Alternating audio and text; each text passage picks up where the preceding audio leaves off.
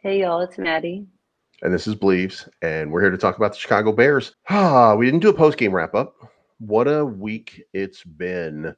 How are you doing? It feels like everybody just got back from like surgery or something. Like this is just one of those weeks where nothing quite feels good about the Chicago Bears. What do you think?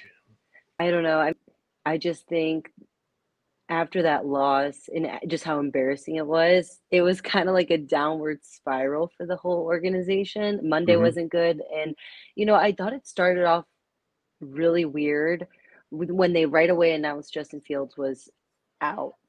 And they announced that what, right after the game or early Monday morning. And Yeah. then I thought it was weird. The vibe, the whole mood was set for the week when Jaylon Johnson requested a trade. Uh, that was really eye opening to me and really concerning. And I think everybody, the whole fan base is like starting to kind of realize it. And then, you know, the coach getting fired, Jaylon Johnson not being traded, us picking up Montez Sweat, but giving up a second round draft pick. The list kind of just goes on. And I don't know about you, but like, I'm not really looking forward to Sunday. I don't know. I saw it. I mean, same way. Like you know, it started off. First play was a 41 yard bomb Oh, that, yeah, Mooney. beautiful pass.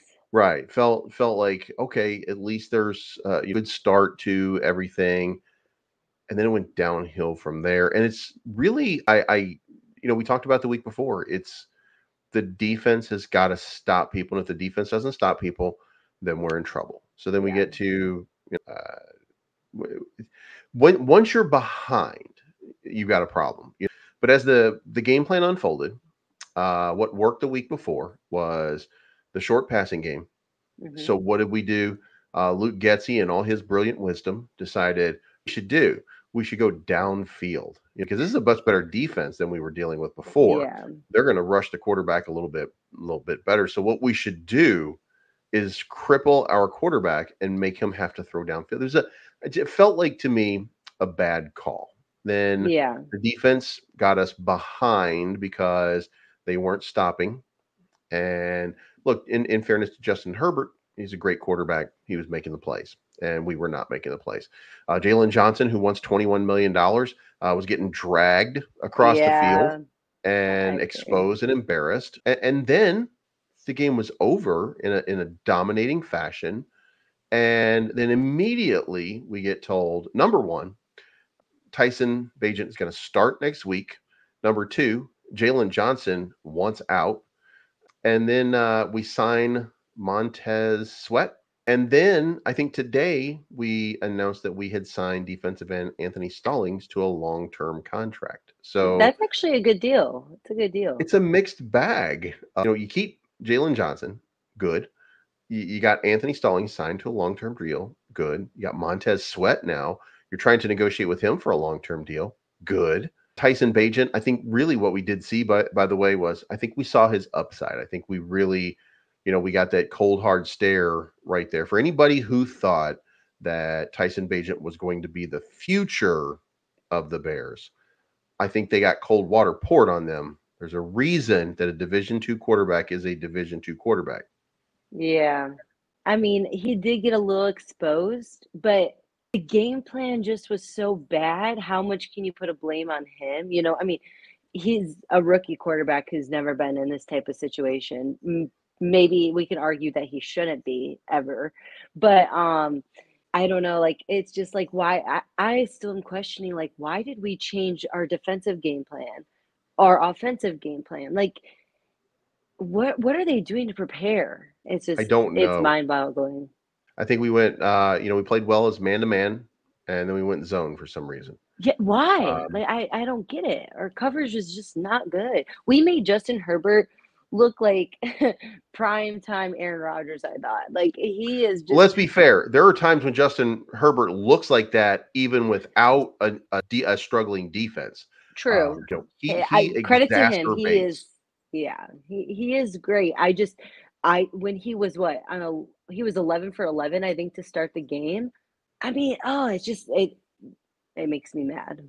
should be infuriating. If you're a fan of the Chicago Bears, you should be absolutely infuriated with many of the things that you're seeing. And, and look, you were you were talking about this um, this coach being let go. What was his name? David something or other. Oh, David Walker, I think. David, Wa- yes, Yeah. he gets let he gets let go, and Ryan Poles comes up to the mic. Ryan Poles Yeah. says, "We have every confidence in this coaching staff and Matt Eberflus." And here's the question that I have to ask: We fired our defensive coordinator for inappropriate behavior. Second game into the season, we just fired our running back coach seven games into the season, eight games into the season, and we're giving out we're giving a, a vote of confidence to Matt Eberflus. But I have to ask you a question, Maddie: Who hired these two coaches? Isn't it Poles? No, it's Matt Eberflus. Oh, oh, oh, yeah. Oh, the two that got fired. Yeah. Yeah, the guy I- that we're giving the vote of confidence to for whatever reason we're doing it right now. We're giving him a vote of confidence, and he's the guy who's hiring the problems. No, I just mm, I can't handle Matt Eberflus anymore. Like I, I generally cannot stand him. Like he's just sounds stupid. And I don't want to talk about my White Sox, but it goes back to my White Sox. And like I, I, I tweeted something, and people were like, "Uh, what do you expect him to say?" Like because Poles had commented about, um, I have full confidence in this coaching staff, Yeah. and I said, "Oh, you got to get rid of Poles too," because you, you know what really made me mad. I wake up to an to a, a Fox News thing that the Raiders fired their head coach. Why can't we do that? Like, I just don't get it. What is the stigma with the Bears organizations that they cannot let go of a coach in the middle of the season? Clearly, Poles, in, my opinion, clearly Poles thinks maybe we could flip the switch because he signs, you know, Montez Sweat. Jaylon Johnson isn't traded, so you're keeping a young, healthy cor- uh, cornerback, and then we extend our defensive end what do you think the season is? Because if you don't sign Montez Sweat, you just gave up a second round draft pick. Yeah. It just blows my mind. I'm so mad. I was like, the Raiders are just as bad as us and they can get the job done. And we're going to have to go how many more games now? So I'm going to go back to um, the the cooler head is going to prevail. I told you that they would get better as the season goes. In two of the last three games, four, uh, two of the last four games, we've seen the best performances. We've seen their two victories. We've seen the team get close to. It should, they should be three and one. They they should be three and one in the last four games. So Mhm. they are still improving. But what we're trying to do at this point, I think, and this is just my opinion, is we're trying to litigate every single loss. And Mm. sometimes you just you just get blown out. Do you remember a couple years ago that when the Patriots came to town and the Bears ended up winning? No business winning. Yeah. Um, sometimes you just have that team's number.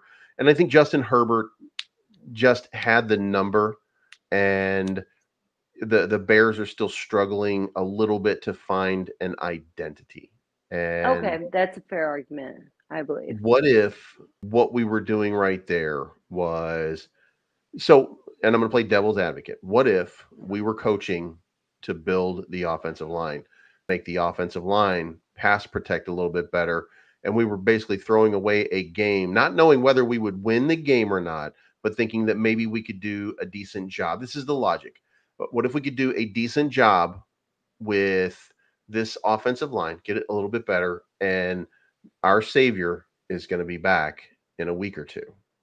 So, you know, we're just trying to improve that line and get it better. And if you remember, we did have Braxton Jones until we didn't. So the line could have, you know, I think maybe we were anticipating something better and then we just had to go out and perform and then before you sometimes you just get shocked in a game. So, sometimes you just get shocked and before uh before you have you even know it you're you're down and you're struggling and you don't have an answer and you've already got a game plan in place. You've already been working on something for a week and now how do you make a correction on the fly and even if these are talented athletes making a correction like that on the fly when you didn't plan for it that is a coaching problem but Yeah. it's still an isolated sort of problem they still had to go out and they had to play the game and they played uh, a a poorly managed game that i think that you know a little more talent a little more time a little more justin fields and you are able to maybe mask a lot of the flaws. And in the second half, I think this team is going to start pulling out some victories that are, are just, you know, that, that you don't think they're going to have. I think this is going to be a better team when Justin Fields returns. So, You know- one more game at least. We'll see. I really hope you're predicting the future because, like, I texted you this. I just feel like a lot of people are checked out a little bit already. And, you know, I mean, it doesn't help what we're two and six, I think, now. Two and six, yeah, yeah. two and six. So we're kind of at that point where it's like uh, last year, you know, like who was really watching? And, you know, most people are still going to watch, but like the engagement isn't going to be there. The hope isn't going to be there. You know, I think after the Vikings game and then after our victory with uh, Tyson, I think people were like, "Oh, okay, you know, let's do this." And then and then this loss comes, and then another coach gets fired, and it's just like the domino effect.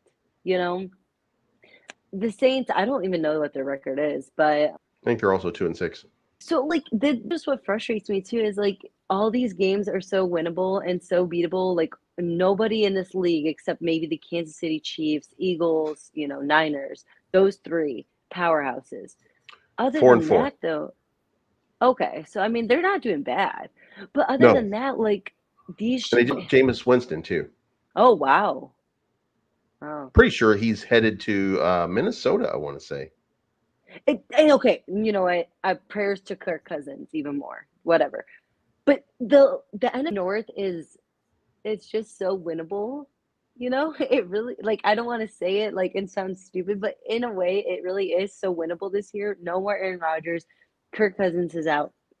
The Detroit Lions, like, are they really, really good? You know? But No. Exactly. Yeah, I knew you weren't gonna think they were very good, but um, so that's what like this second half. You know, if we go in Sunday and win, maybe we'll grasp hope again. But they got to really string together a few wins in a row for people to still buy in. I think. But here's the thing: we're going to run the ball, and we're going to do a good job of running the ball. True. We're going to refocus on running the ball. We got one more week, maybe, of Tyson Bagent, and I, again, I don't have a problem with him. I still think he's a Uh, yeah, I don't either. substitute. He had a bad game. He made a couple of bad throws, but he made rookie mistakes that rookies make, and again, Mm-hmm. exacerbated by the circumstances. So I think that we're going to come in. I think we're going to have a great game against uh, New Orleans, which is a team uh, also in a little bit of disarray. So I think we're going to come in. We're going to have a another. We're going to have a nice game. We're going to look. Everybody has pride, so I think the defense really didn't step up, and I think they they they feel that. I think they Mhm. feel that. They see now that the in this week, you just saw a commitment, Ryan Poles, to his players and letting Jaylon Johnson go shop your wares and do your thing. Let me know if it's best for you. I will take care of you. And it was not. So now he has to work on a deal, or he just has to have it let it expire. Uh, but then in the meantime, uh, Montez Sweat comes in, and now we're trying to lock him into a long term deal. Anthony Stalling is locked into a long term deal. Now they're starting to make moves and they're starting to make plays. Uh, who's going to be on this team? And are you going to play for that Chicago Bears jersey? And I think that that's going to, I think Montez coming aboard may not be the the ultimate rallying cry this week, but it it's a rallying cry for this team. So Yeah. I feel like what's going to happen is they're going to come in, they're going to start playing hard, going to have some success, and then the next thing you know, uh, that success is going to permeate to the rest of the team, and then the offense will get on uh, a little bit of a run. The the offense will start to just punish um, that line, and then there we are. And we and we have to remember, even if the Chargers were not that good a team, Justin Herbert is an all-world quarterback, and they do have a lot of big time athletes. They've got Bosa, they've got Khalil Mack, they've Yeah. got, they've got a, a fantastic team that just is underperforming right now. And you know, we got caught flat-footed, and before you know it, you're playing from behind the eight ball, and that's not what the Bears do. Yeah. The Bears Yes. pound it, and they didn't do it. So Uh, did you see that Darnell Wright was like ranked the highest rookie? Um, I, I don't know if it was like by position or whatever, but he was ranked the highest rookie, and he he's been. I feel Mhm. I I think like he kind of goes under the radar, you know, because the offense isn't the best, but he played really well against Khalil Mack and Bosa. Like that's that's promising. I feel. I have to ask you this. You know I don't like Bozo the Clown. Do you think, because he's a defensive minded coach, like I was reading and stuff like that. So do you think this is Ryan Poles' way of saying that like he's gonna be staying next year? Like, what do you think about that? I think it's your responsibility to have the back of your friend until you don't have the back of your friend. When you're in the heat of battle, and this is the battle this season, you are supposed to have your friends back no matter what. Now, if you're not the friend who has your friends back, if you're not that guy, if you're not, uh, and this comes back to some people are just raised a certain way. You you have your friends back until it's time for you and your friend to separate. And for the Bears, that's the end of the season. So he has his back until then. He will defend him until then, even in the indefensible moments, which is what we feel. So yeah, I think it's admirable that Ryan Poles knows the circumstances, knows what he can and cannot do, and that he is standing up for and taking the bullets for Matt Eberflus when we know that those bullets better be directed towards him and that that big red hair and the big floppy shoes and the and the blue outfit that he wears and those five cans that he keeps having people throw the balls into. You know, we we, we get to know. Right. So, but he's got back. He's he's got his back, and I think that that no matter what anybody else says is an admirable quality for Ryan Poles. And I do like the way that he's building this team. There are mistakes so that he's going to make. Like I I like Poles. I want to generally like him. Like, and I think he makes some solid moves. I think he can be a little cheap, but that's all Chicago sports. Let's be honest. But I think he has a really good business mind, and he like wants to get this job done. You know, he has a winning mentality.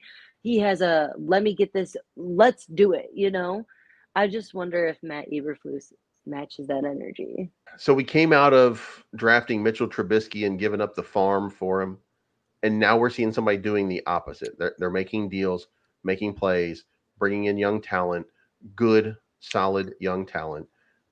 Maybe, maybe this was a misdirect in the coaching staff. Maybe, maybe Matt Eberflus is just not that guy, or maybe again, this team has to develop. And there are plenty of, by the way, there, there are plenty of people who are out here giving sage advice that are telling you that this could be better, this could be better, this could be better. Like, for example, Dave Wannstedt. Dave won 500 coach in his entire career. Dave Wannstedt got yeah. fired for lack of performance with the Chicago Bears. I love Dave Wannstedt, but we do have to realize that some, you know, uh, coaches don't start out very well. And, you know, this team had a lot going against it when he came aboard. Continues to have a lot. Some of the wounds are self-inflicted. Look, you you hire some Luke Getsy, and Luke Getsy, I think, doesn't get it. I, I don't think that he planned very well. I don't think he's he's the best. He was the best hire. But what if you take him out of the mix at the end of this year and say, look, you just didn't get it done, and you bring in somebody who does? Because you, yeah. again, you can't do it. Matt Eberflus doing the same thing that Ryan Pace is doing, and that he's covering. He's got his guys back. So you get to the end of the year, and now you replace him with a, a good line, and you know you got to start again, but you don't really have to start from zero. So you, you bring in somebody who's got some talent, who knows and understands the NFL offense of today, that starts to implement right away. You get yourself ready for the next season. And what if your defense is, you know, five ranking points better? Just just yeah. a little bit better. What if the offense is one touchdown a game better. What kind of team do you have right there? You have a Super Bowl contender. Like that's how silly, you know, that's that's that's how when they say we're close or when they say, you know, I can feel it, like we're not that far away, we look at all of the I said it before, we're we're litigating the history. We're we're litigating Nagy. We're we're litigating uh, Marc Trestman. We're litigating yeah. Jay Cutler and his cigarettes during the game. We're litigating Mitchell Trubisky not making the throws. We're litigating all of these different things in everything that we're mad at Matt Eberflus. Yeah. Over. And I think we're all just sick of the losing. Right. You know, and so we're looking for a reason to fud we're looking, everything. We're always looking for like someone to blame. That happens to any organization, any fan base. But I just think like the fans are just they're just tired. And you know, I still have all my faith in Justin Fields, but I think it really goes back to a lot to the quarterback position. And you know, looking at the years of the court, uh, the Chargers, they showed like, uh, did you see that? Like, they showed like an image of like the quarterbacks between like 2000 like uh six, I think, to now. I I don't remember what it was. The Bears had like 30 quarterbacks, Yeah, and yeah. the Chargers had I think four. Justin Herbert. Um, oh my The god, I guy on remember. the the Lions, I think. What's his name? No, that's uh, Aaron Goff or Jared Goff. Oh, he was. Where was he? I can't remember. The Rams, maybe. No, yeah, he was at yeah, he was at the Rams. Oh my God, the big um I you know what? Now it escapes me all of a sudden, but I, I think maybe they did have two, maybe three. Because, you know, I think going back to 2000, you probably go back to they had the number 1 pick. Um let's do this. What Chargers was his name? QB. It was a big. It was a big name guy. Is Ryan something? Ryan Tannehill? No, that's not it. Who was before Herbert? I don't know because he got um I can't remember. Ryan Leaf. Oh, Phil Rivers. There we go. Phil. Okay, there we go. They had Phil Rivers, you had Drew Brees, and you had Ryan Leaf. Those are the ones Yeah. that they've had since 2000, and, And- Justin Herbert. So four quarterbacks. Yeah. Us, we have. You could build a whole roster. You could literally build a whole. I was like, that's embarrassing. But then you come to like as a fan, you're always in the back of your mind that you're like, can you trust this quarterback? Like, you know, with baseball, you put your best pitcher on the mound, one out of five, whatever. In football, you can blame the defense all you want. Look at the 2018 uh, 18 team. We had the best defense in the league almost. Like, let's be honest, nobody was scoring. None of us trust trusted Mitch Trubisky, and he's he, okay. He I got did. the. Oh, you were a Mitch fan. I hey, in 2018, I was a Mitch fan. After that, no, he had to go. I, I was a I was a Watson fan. I was I- hurt by the fact that they took Mitchell Trubisky, but I was willing to give him a chance because you know he had he only had a year, and I, I thought maybe they overdrafted. I thought maybe they saw something that other people were not seeing. Uh, and by the way, Patrick Mahomes was not you know yeah, no one, Mahomes no one knew that was going to be Right, but but Deshaun Watson, uh, I I was a big time Deshaun Watson mark, so I was upset by the fact that they didn't choose him, but I was willing to give Mitchell Trubisky a chance, and I liked a lot of what I saw. He was a fiery player. He was a rookie. Yeah. He wasn't a leader, but he was a fiery player, and he wanted to be a leader. And, and he wanted to win too. Like Yes. I really thought he like had that winning mentality, but it just it's like as fans, you go out there like I think a lot of people like Justin Fields because he's Justin Fields. You know, and Ohio State, you know, oh, I, I don't like Ohio State, but whatever. Like everybody he's from the Midwest.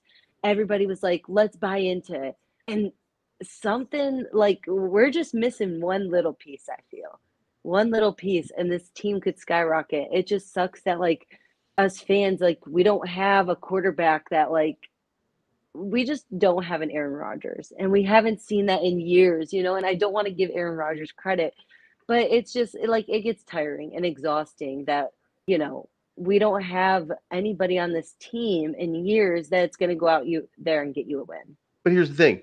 I I I I I, I, think that Fields is that guy that will get you win. I, I uh, you know I mean dare I say it, uh, Tyson Bagent even if he's going to make mistakes, he's going to get better. And as a rookie, he's making rookie mistakes, but Mhm. he's got that fiery spirit. He's got that leadership True. quality that you're looking for.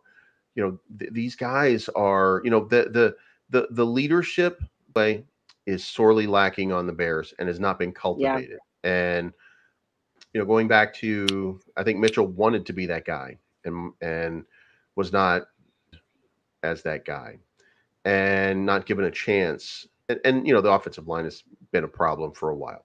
And nobody's had a chance to really develop and and become that person. And then, you know, the hard part is when you don't have team leadership, not coaching, team leadership, when you don't have Brian Urlacher, when you don't have Lance Briggs, when you don't have Matt Forte, when you don't have these leaders stepping up, calming people down, shutting people up, getting people ready to play Yeah. and be successful. When you don't have that, then you have a problem on your team. And we've had a problem on our team for a long time.